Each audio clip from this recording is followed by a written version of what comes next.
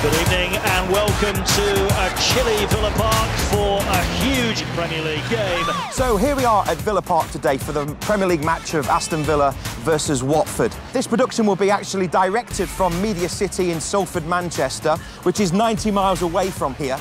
And all of the engineering and the technology, the equipment, if you like, will actually be based in Hilversum, the Netherlands. Two sides battling for survival. And it's Watford who get us underway. Traditionally, what we know is the OB sits out at the venue with the cameraman. Then what remote production has brought in, and you'll have the cameras on site, and then you'll come back to a centralised hub such as Hilversum, and people then operate from there. Up until now, the production team will travel to wherever the core is, so in this case it's in Hilversum. What we're doing here today, which is new, is we're allowing the production team to be based wherever they want to be. We have now remoted the production area, not only out of Hilversum, but also out of the country into England.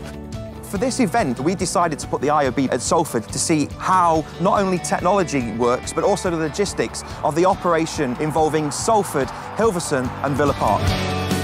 We now have the ability to put production wherever they want to go. By taking this extra step, we've actually added a whole level of convenience for the production teams. So if they want to be near the BBC studios, they can do that. If they want to be based somewhere else, we can put the IOB wherever suits them for their needs.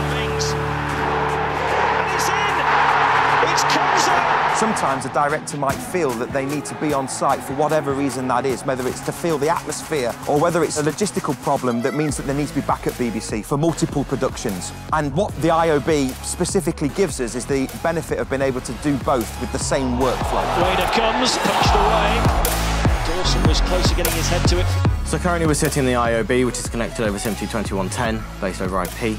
It is a flexible working space, in effect.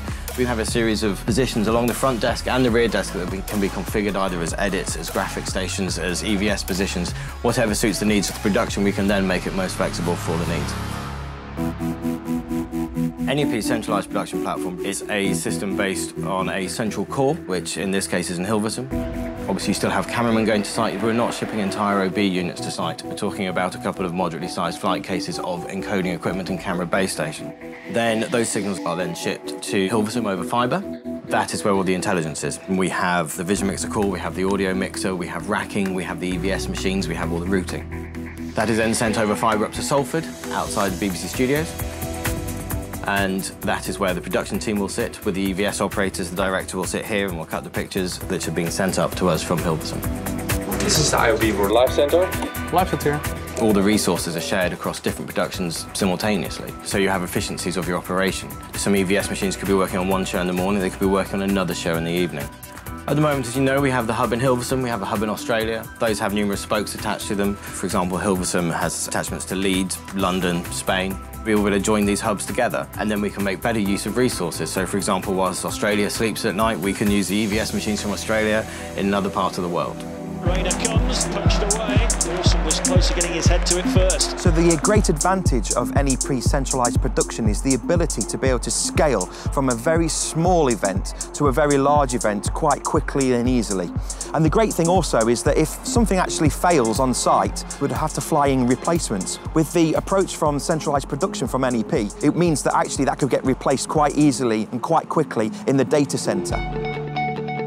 I think it's very important for us to have a flexible approach to production. So instead of flying numerous production crew out to site, we can actually stay at home to enhance our sustainability. And he's in! And Aston Villa have won it in added time at the end of added time. This is just the beginning now.